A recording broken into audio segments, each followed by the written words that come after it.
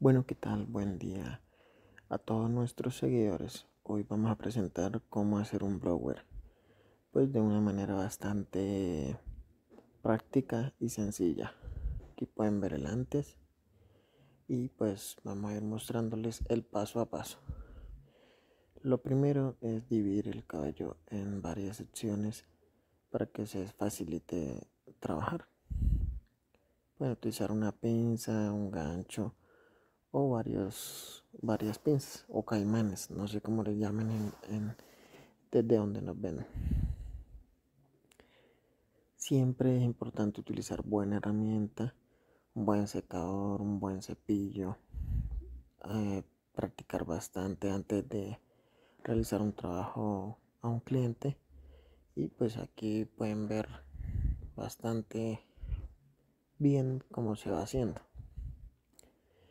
Recuerden que pueden seguirnos para ver más contenido y para conocer nuevos productos, herramientas, nuevas tendencias. Nosotros estamos ubicados en Colombia, en Bogotá, y pues trabajamos con muchos estilistas.